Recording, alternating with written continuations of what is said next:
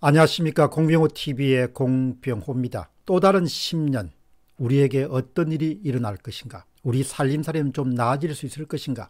우리나라는 어떤 상황에 처하게 될 것인가? 우리 주변국들은 어떤 변화를 경험할 것인가? 우리는 어떤 준비를 해야 되는가? 나는 어떤 준비를 해야 되는가? 누구든지 관심을 가질 만한 그런 질문에 대한 답을 드리겠습니다. 너무 광범위한 주제를 포괄하고 있기 때문에 스스로 종합적인 지식, 포괄적인 안목, 깊은 통찰력이 없으면 10년을 내다보는 전방수를 감히 지필하기는 어렵습니다. 오늘 여러분들에게 소개해드릴 귀한 책은 한국경제신문과 한국경제텔레비전에서 맹활약을 하고 있는 한상춘 미래에셋 리서치 담당 부사장의 또 다른 10년이 온다. 한국경제신문사에 출발한 것을 소개해 드리겠습니다.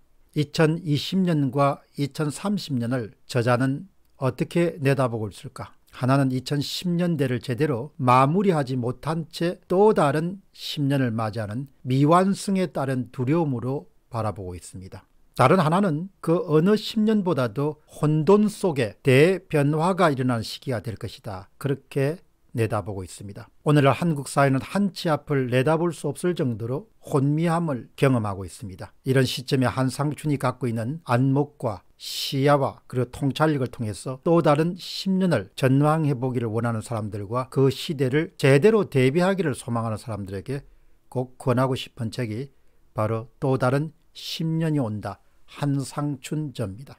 제가 읽으면서 주목했던 메시지를 중심으로 여러분들에게 정리해 드리도록 하겠습니다. 모두 10가지 메시지입니다. 첫 번째 메시지 포인트 1 2020년대의 세계 경제는 new normal에서 new abnormal로 넘어갈 것이다. 원래 영어 명칭은 new abnormal이라고 표현한 게 좋겠습니다.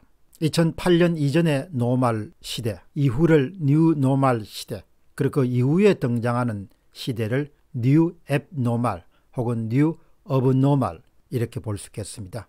new abnormal 시대에는 저성장, 긴축에 따른 피로감, 그리고 지나친 소유권 등이 경제 활동을 방해하는 현상을 바로 new abnormal이라고 볼수 있겠습니다. 예측이 힘들어진 시대를 뜻합니다. 포인트 2. 2020년대의 세계 경제는 위험 관리 측면에서는 불확실성에서 초불확실 시대로 접어들게 될 것입니다. 초불확실성과 new abnormal의 시대는 어느 날 부지불식간에 갑자기 big change, 큰 대변화나 변혁을 일으킬 수 있습니다. 따라서 과거의 이론과 규범과 관행이 더 이상 통하지 않기 때문에 미래를 예측하는 일은 더욱 어려워지고 오로지 창의적이고 유연한 사고를 바탕으로 개혁과 혁신 그리고 생존을 도모해야 될 것입니다. 포인트 3입니다.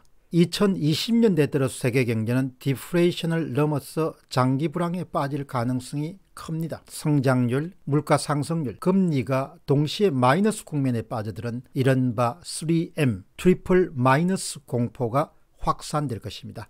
3M 공포. 3M은 1930년대 대공황 이후 처음 나타난 현상입니다. 포인트 4. 4차 산업혁명은 융복합 추세가 더 심화되면서 2020년대는 6차 산업화까지 격상될 것입니다. 인공지능, 뇌과학, 핵융합, 양자 컴퓨터, 자율주행 자동차, 우주 발사체, 휴머노이드, 웨어러블, 가상현실과 증강현실, 헬스케어와 바이오 등 눈부신 발전과 기회가 만들어지는 그런 시대가 2020년대가 될 것입니다. 특히 2020년대 들어서선 인공지능 기술의 눈부신 발전은 상상도 못할 것으로 진행될 것이고 이런 발전이 사람들의 생활 구석구석을 변화시켜 나갈 것입니다. 포인트 5. 한국은 큰 도전 과제를 만날 것이며 극심한 변화 속에서 이러지도 못하고 저러지도 못하는 방황의 시기를 겪게 될 가능성이 높습니다. 한국은 2010년대에 들어서서 2020년대로 전환되는 중요한 시기에 갈라파고스 함정에 빠져드는 그런 우를 범하게 됩니다. 세계 흐름에서 멀어지고 있는 하나의 징표입니다. 따라서 걱정을 하지 않을 수가 없습니다. 대외 환경에 크게 의존하는 한국 경제 입장에서는 특정 가치와 이념에 매몰되거나 편중되는 그런 선택을 하게 되면 치명적인 타격을 받을 수 있다. 한상준이 지은 또 다른 10년이 온다는 책에서는 아주 해박한 지식과 정보의 바탕을 두고 한국을 중심으로서 대내외에 서로 연관관계를 많이 이렇게 이야기를 합니다. 따라서 여러분 가운데서는 전 세계적인 맥락 속에서 한국의 미래를 내다보시기를 원하시는 분들은 또 다른 10년에 대한 도전을 해볼 수가 있습니다.